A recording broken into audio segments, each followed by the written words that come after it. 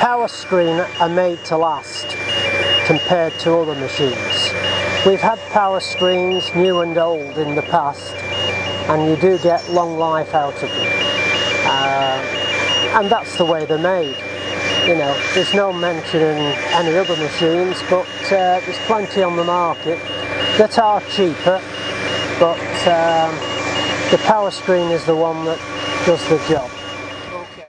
Oh no, we, we've uh, we've had machines off Martin before, and uh, he's um, he's an interesting guy. You know, he takes an interest in his customers, and if there's any uh, help needed, he's always the first one to uh, help out.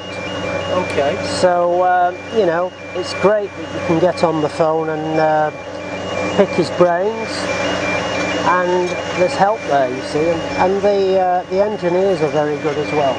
Uh, they don't waste any time getting to site, and uh, that's the way we, you know, that's the way we want it because time time is money, and we need the machines to keep going, which they do.